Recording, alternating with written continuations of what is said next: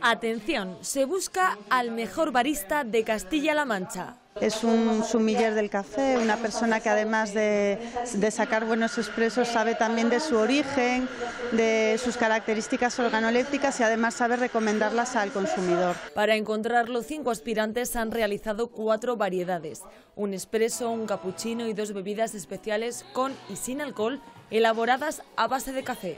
Un buen barista sobre todo debe ser un verdadero apasionado por el café, porque al final esa pasión es la que va a marcar también su trabajo del día a día. Entre los participantes, cuatro residentes en Toledo. Me ha faltado tiempo, el molino me ha traicionado un poquito, pero bueno, siempre hay una primera vez y cosas que, son cosas que pasan al fin y al cabo. Y un ciudad realeño, Álvaro, que por cierto fue el campeón autonómico en la edición del 2013.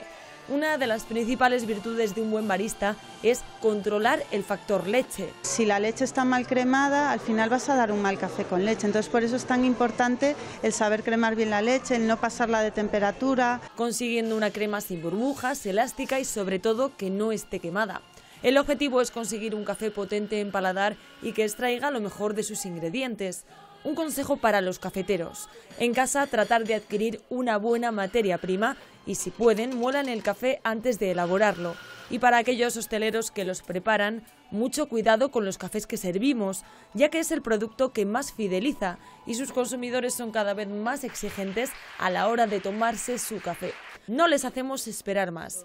Este año el barista que representará a nuestra comunidad en Barcelona el próximo mes de octubre para la final nacional es Álvaro Gómez.